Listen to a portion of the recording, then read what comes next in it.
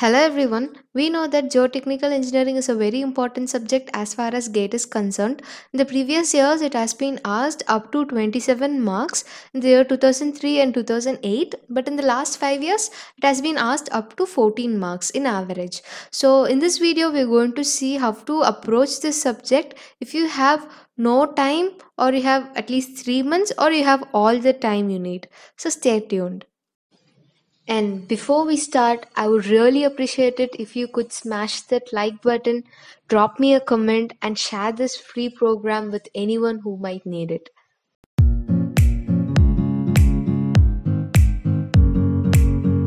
Geotechnical engineering can be divided into 13 topics, namely properties of soil, classification of soil and clay minerals, effective stress and permeability, consolidation of soils, seepage analysis, compaction of soil, stress distribution in the soil, shear strength of soil, retaining wall or earth pressure theories, stability analysis of slopes, shallow foundation and bearing capacity, deep foundation, soil stabilization and soil exploration. Till GATE 2018, these many questions have been asked in each topic.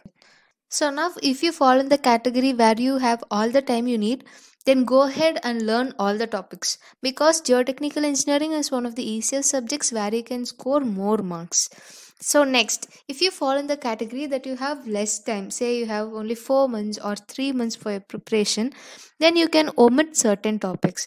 You can see that topics like compaction of soil, stress distribution of the soil, soil stabilization and exploration, they have only less number of questions asked. So you can omit these topics and learn other topics alone.